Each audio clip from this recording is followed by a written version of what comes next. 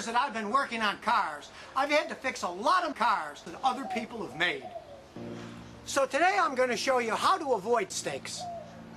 Now it's great if you destroy engines. Because if the old gasket is stuck on the engine and you put another one on top of it, you'll die. Now take this beautiful looking Mercedes. That's good, that's good.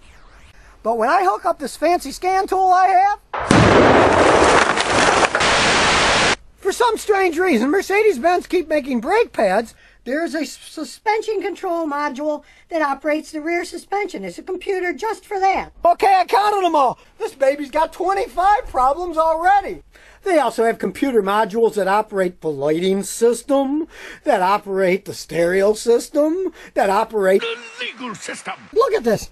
Recess. Well, you're going to spend a small fortune fixing something as dumb as a lug nut. I've seen engines blow up because of this.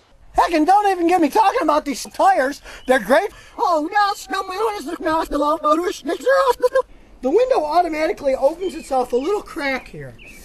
And then when you close it, it closes. The Germans are masters of German, if anyone is. And just pray that it doesn't have any engine while you do drive it. The only thing you can lose is $16. You get a little tired and a wee bit hungry. You want a break? I just can't wait to see what these Germans are going to come back with when I upload this video on YouTube, how they squeak like mad. And remember, if your car has gone berserk, just visit the Scotty Kilmer channel.